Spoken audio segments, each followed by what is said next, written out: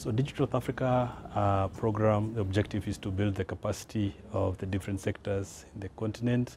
And our special focus today is in the agriculture and food security.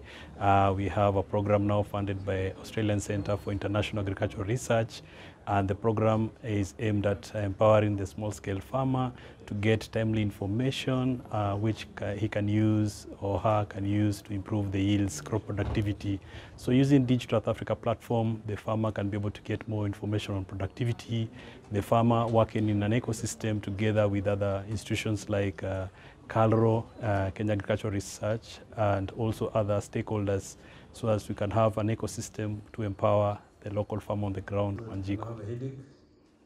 How do we help the farmers access information on pests and diseases? And then we'll look at the value chain of tomatoes. So what we we did is when we went on the ground, you have to do engagement. So we said we're doing interviews with the farmer, stakeholder engagement, so that then you can understand what's on the ground. And one of the things we found out, for example, is out of 53 farmers we interviewed, only two were using the internet to access information. So most of them were still using or are still using traditional um, means or channels of accessing information, radio and all the other information sources.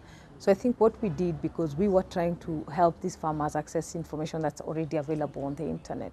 So we started by bringing in, um, working of course, work with the Nakuru County government very closely, so that then we understood what are the key challenges that the farmers face in terms of pests and diseases.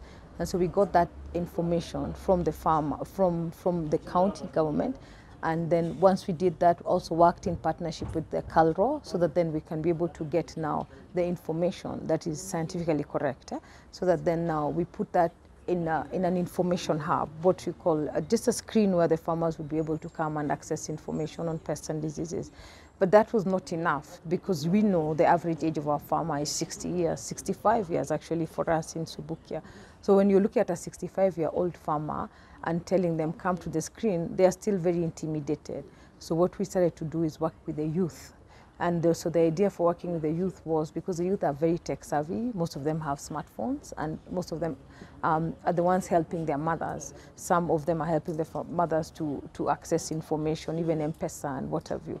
So we started to work with the youth and started to say how do we link the youth to our program. So we started to use the youth to map the fields of the farmers so that then once you have the youth mapping the fields, then now you're able to now advise the farmers. So we had two tiers. So we have the youth with a phone and they have, they have the farmers on their screens and then now behind the youth, you have the agronomist or the extension officer, so that then they're able to also help the youth to offer either any information to the farmer.